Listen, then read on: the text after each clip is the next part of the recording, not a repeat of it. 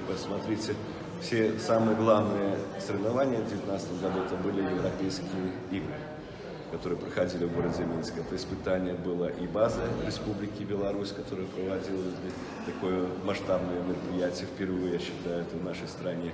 Ну и наших спортсменов.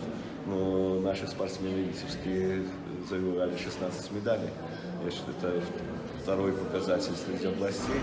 Ну и третий, если присоединить город Минск. Но город Минск это мы немножко ровно. Поэтому, я считаю, очень достойно выступили.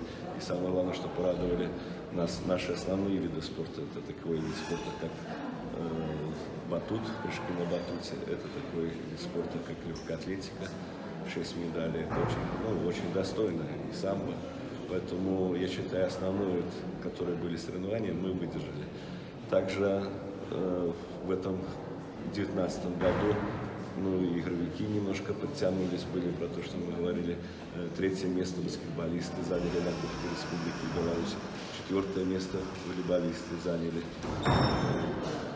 Футболисты, хотя в чемпионате уже потом ну, в Кубке Республики Беларусь играли в Витебске финале, потом уже играли и в Кубке, и в европейских кубках участвовали. Поэтому так, в общем, неплохо.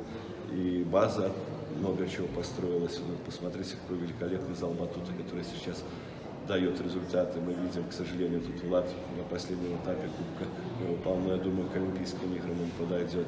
Э, площадка хоккейная, ледовая площадка построена в городе Новополске. Я такой называю, такое два крупных объекта, которые сделаны.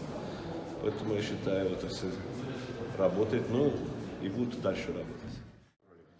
Ну, такой серьезный объект, при том это, чтобы все знали, не за бюджетные деньги, потому что много людей говорят, это вторая ледовая площадка, которая будет, будет рядом строиться, ни в коем случае. Ну и задача губернатора приводить все наши площадки э, надлежащие, которые уже давно построились, не делались ремонта, потом будем заниматься ремонтом комсомольца, надо бассейн запустить. Ну и участники у нас строятся, бассейн будет, Телетрова потом спектр строителей. Опять же, это не за, не за бюджетные деньги. Ну и дальше будем приводить порядок училище Олимпийского резерва много чего в этом году сделано. Дальше будем работать по городку. Вот сейчас проходили, все были Кубок Федерации биатлона, очень остались руководство Федерации Республики довольны, как провели, как база сработана. Петрович. Министра спорта и туризма Республики Беларусь. Портной Михаил Петрович районных исполнительных организаторов, специалисты располкомов, курирующие вопросы спорта и туризма, руководители спортивных школ, центров Олимпийского резерва, училищ резерва,